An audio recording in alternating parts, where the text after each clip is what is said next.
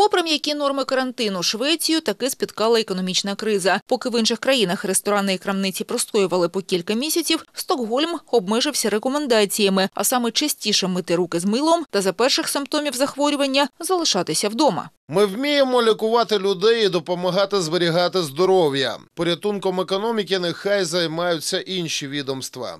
Та за умов глобальної економіки згубні наслідки пандемії відчутні і у Швеції. Цьогоріч, очікують аналітики, ВВП королівства різко скоротиться, а кількість безробітних, як наслідок, стрибне до рекордних позначок. Реальність у нас така: Швеція дуже залежить від експорту. На нього припадає половина нашого ВВП. А ще ми частина єдиного ринку. Тому, коли проблема є там, потерпаємо й ми.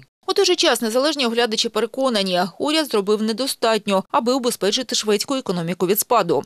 Влада мала реагувати значно швидше, ніж вони це робили. Приміром, створити вигідніші умови для компанії, взяти на себе частину витрат. Ось це би реально підтримало економіку та врятувало би від падіння в довгостроковій перспективі. Так, один із секторів, що опинився на межі виживання, це туризм. Ця жінка тримає сувенірну крамничку у центрі Стокгольма. Каже, через обмеження, у тому числі на пересування, не дорахувалася 90% своїх звичних прибутків.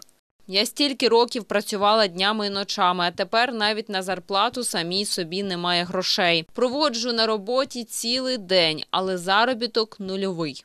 Для виживання таких, як Герріет, необхідно, щоб повернулися туристи. У Швеції смертність від коронавірусу у кілька разів вища, ніж у решті країн Європи. А відтак і відкривати свої кордони з нею решта членів Євросоюзу поки що остерігається.